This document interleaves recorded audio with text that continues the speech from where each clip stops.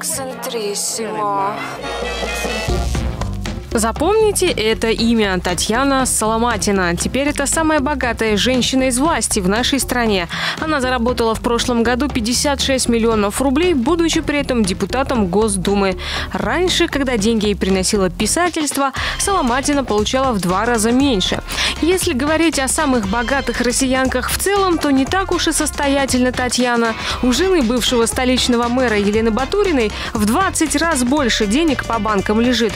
И она пока недосягаема. Хотя, опять же, смотря с кем сравнивать. В мире самой богатой считается француженка Лилиан Битанкур. У нее 40 миллиардов долларов. Батурина еще работать и работать, чтобы хотя бы половину этой суммы как-то заполучить. Безбедную жизнь семейства Битанкур обеспечивают клиенты компании L'Oreal, то есть среднестатистические женщины, а то и мужчины всего мира. Пакет акций производителя косметики Лилиан унаследовала 60 лет назад после смерти отца. Берегла его и себя. В свои 94 самая богатая женщина мира довольно неплохо выглядит. Правда, неизвестно, помогают в этом средства ее фирмы или что-то другое. Эксцентриссимо.